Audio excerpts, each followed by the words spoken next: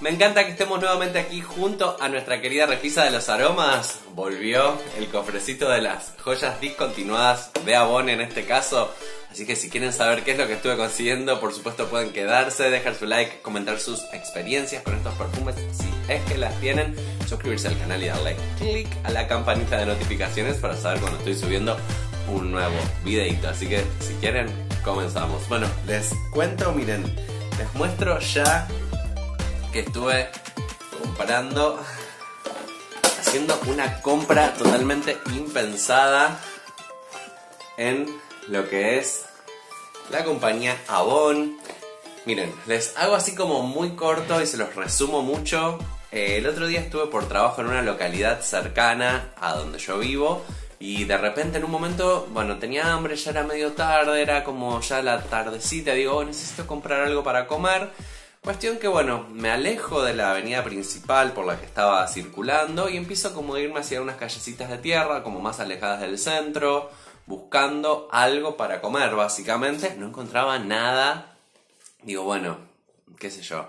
Y de repente cuando me estoy pegando la vuelta, encuentro lo que acá, bueno, en Argentina llamamos una granjita. No sé en otros lugares por ahí como le dicen. Sería, vendría a ser como unos, eh, un almacén donde se venden cosas de comida, literalmente, así como que se despachan, no sé, cosas de comida, fiambres, pan, latas de conservas, bebidas, bueno, en fin, nada. Yo quería comprar algo como para merendar y digo, bueno, eh, joya, bajo y compro. Chicos y chicas, cuando voy a comprar, cuando entro al local, al lado de la máquina cortadora de fiambres había una vitrina, o sea, no, no, no, no, no, no, no una vitrina llena de perfumes discontinuos de Avon.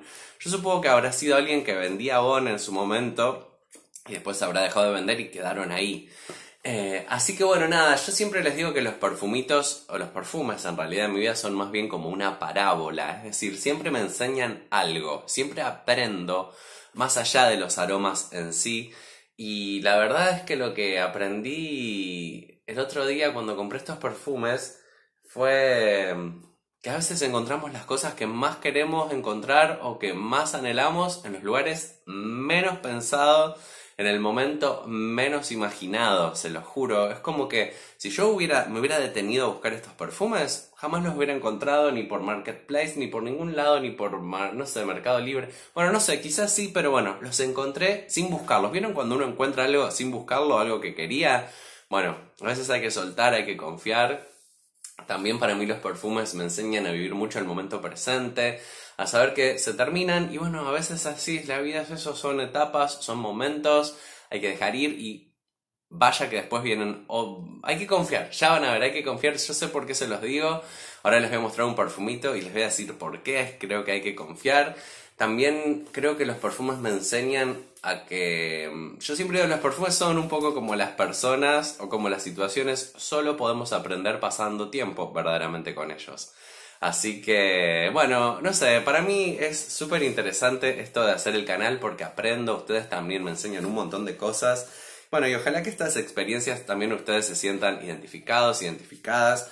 Y bueno, Vamos a mostrarles por qué les digo que hay que confiar y hay que soltar. Fíjense, si ustedes ven en el último unboxing, no, perdón, si ustedes ven el último eh, perfumes terminados del mes de junio, yo estuve terminando mi Faraway Exotic y miren lo que encontré en esa vidriera. Un Faraway Exotic en su caja total y absolutamente. Sí, todas y cada una de estas fragancias estaban ya fuera de sus celofanes Miren lo que son estas bellezas. Faraways, botellas de la vieja escuela, me encanta. Este junto a Faraway Glamour es mi Faraway favorito.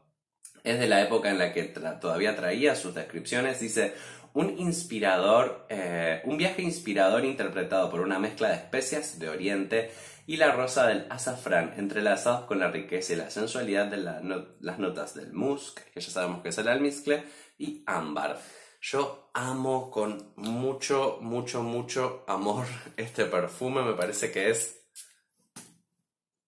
Ay, es una delicia, me parece que es una joya.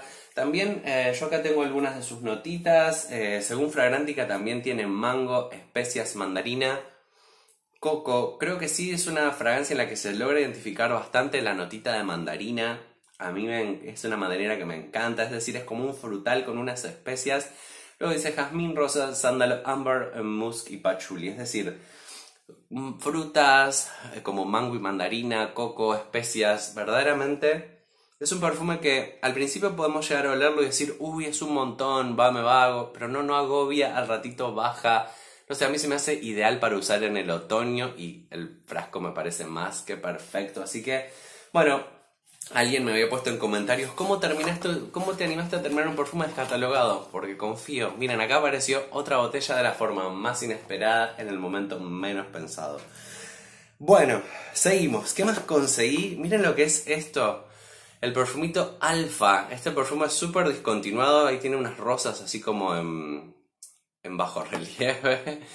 tiene la característica de tener por delante y por detrás la misma fachada, digamos, la caja, las especificaciones están al costado. Este perfumito dice, es un sofisticado, eh, no, eh, sí, en un sofisticado grupo de mujeres siempre hay una que se destaca. Para ella presentamos una poderosa fragancia que combina la sensualidad de las notas de la frambuesa con la intensidad de las maderas refinadas y con el toque femenino de acordes florales. Es decir, nos dice que este perfume tiene frambuesa, maderas refinadas y acordes florales. Bueno, siempre Avon nos tira como muy poquita data. Bueno, por dentro tiene también, eh, miren qué lindo el detalle en la caja, además del protector, viene grabado eh, como así con flores, igual que lo que trae aquí en el relieve. Este perfumito yo había escuchado muchísimo hablar de él cuando antes de todavía comenzar yo con mi, con mi canal, es un perfumito del cual yo siempre escuchaba las reseñas y digo, bueno, no, yo eso ya no lo voy a conseguir. Así que bueno, y verdaderamente este es mi tipo de perfumes, me encanta. Fíjense, el frasco es bastante sencillo en cuestión, es de vidrio, este color súper rosado, alfa por ahí dice, sé que también está el masculino, quisiera conseguirlo, tapón sencillo, la verdad que el frasco no es nada pretencioso, pero este aroma me encanta. Miren, uno lo atomiza. Si ustedes son, como yo, fanáticos de los frutos rojos, este perfume es ideal. Verdaderamente, yo hice el ejercicio cuando venía en el auto a atomizarlo. Y digo, ¿a qué me huele? Sin leer las notas y nada. Y decís frambuesa. O sea, es un perfume que literalmente tiene la nota de frambuesa. Después sí va como en su evolución. Se vas, vas diciendo y queda como una cosita más entre algunas maderitas claras y alguna florcita, quizás alguna florcita blanca muy suavecita. No sé exactamente qué notas tendrá, em, porque no nos lo especifica. Este floral frutal es del año 2015. Si yo lo que les puedo decir como sensación, si ustedes lo ven en algún lado, es un perfumito muy, o sea, de algún modo ligero. Eh, no creo que, que sea como dice la caja. La caja dice presentamos una poderosa fragancia. No se me hace, ah, con lo rica que me parece y todo, no me parece que es una fragancia poderosa, por el contrario, me parece que es una aromita para usar en el diario. Si te gustan los frutos rojos, me parece que va ideal como para hacer deporte, si tenés actividades que te requieran estar en la naturaleza, no creo que agobie. Bueno, vamos, lo voy a estar probando obviamente, pero a mí me transmite como este feeling de yo lo huelo y me huelo como un shampoo de frambuesas, como algo limpio, como unas frutitas limpias riquísimo, de una fragancia así como deportiva, fresca, jovial, muy jovial. Me parece que esto a partir de unos 13, 14 años, ya como entrando a la escuela secundaria, esa época podría quedar pero ideal porque es jovial, es fresco, es brillante, no agobia para nada. Y si no, o sea, está como entre unos frutitos rojos, algo infantiles pero ya con un ladito de maderas y flores que no llegan a agobiar para nada. Me parece que es un aroma digno de que estuviera de vuelta en el catálogo. Em, no sé por qué lo hayan discontinuado, porque verdaderamente me parece que sí es un aroma de Avon que vale tantísimo la pena para eh, lo que viene a ser el diario. Pero bueno, sabemos que Avon saca, discontinúa, cambia y demás. Y el otro que estuve consiguiendo es un perfumito que me recomendaron ustedes en comentarios. Yo verdaderamente estuve buscando no a ver quién me lo había recomendado. Por favor, quien me lo recomendó, diga, levante la mano y diga, yo te lo recomendé. Se trata del perfumito Her Story Love Inspires. El otro día estuve contestando muchos comentarios y alguien me puso prueba ese porque vale la pena. Y verdaderamente este perfume, vamos a abrirlo. Ya todos estaban sin celofán, ¿sí? Aquí en el canal ya hemos hablado del el Her Story, ¿sí? Eh, pero eh, este es como su flanker, vendría a ser el Love Inspires. Eh, dice es un perfume. mm, Dice: Inspírate con un toque dulce del praline, la audacia del iris y la pureza del jazmín para ponerte en primer lugar. Bueno, en fin.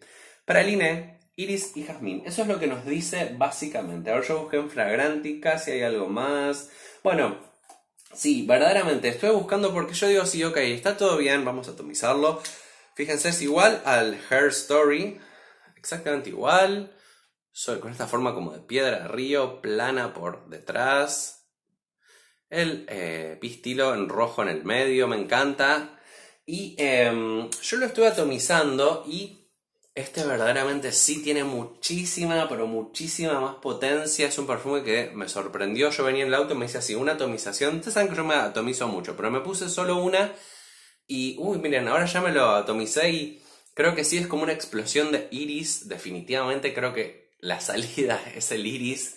Y unas frutas. En Fragrantica dice chabacano que vendría a ser como nuestro, em, nuestro damasquito, el damasco mandarina. También dice que tiene unas notas de jazmín, gardenia. Yo creo que sí. Entre el iris y la gardenia tiene un lado floral bastante presente hay, es como eh, un lado frutal muy dulce, quizás así como unos damascos ya más maduros, o no sé si no fueran damascos podrían ser duraznos o melocotón, bueno, como lo quieran llamar, pero es como una fruta muy madura, más el iris, eh, y dice también Fragrantica que tiene nota de brandy, además del pralina, es decir, vendría a ser así como un... el brandy yo lo asocio que debe ser una nota, obviamente, como un licoroso, pero sí, es como que está entre lo dulzón y lo atalcado algo amarguito con esa nota de iris. No sé si verdaderamente estará o no la nota de brandy, tampoco la tampoco es un perfume que bueno, sí, sí, es, es algo embriagador, pero no sé si no es embriagador, si es embriagador por el brandy o por lo frutal. Y la nota de praline, o sea, como es un perfume bastante particular. Nunca he olido nada similar a este. Hay algunas personas en Fragrantica que dicen que se parece a La Vida es Bella. Para mí no. Más allá de que comparte, sí, La Vida es Bella original, la de Lancôme, tiene iris y praline, es cierto.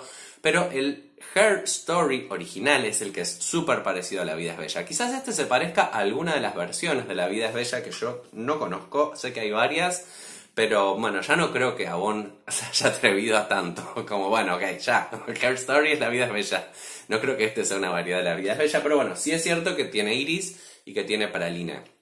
Este perfumito, huélanlo antes, no es un perfumito tan así ya como tan ligero como el alfa, por ejemplo. Este sí yo creo que es un perfume ya para unos 25 o 30 años. Eh, maneja ese lado de iris que quizás lo hace un poquito más complicado también le reviste, si bien el lado frutal, un poco más de formalidad, me parece que es un poco más para vestir, sí, para, me parece más un perfume como para vestir durante el día, me parece como muy, más bien como primaveral, eh, otoñal, no sé qué también se llevará con el calor, me parece que el iris puede hacer que no sea ideal, y eh, con el frío no sé si tampoco vaya muy bien por el tema de ser tan frutal y tan, eh, o tan, tan dulce con un lado frutal.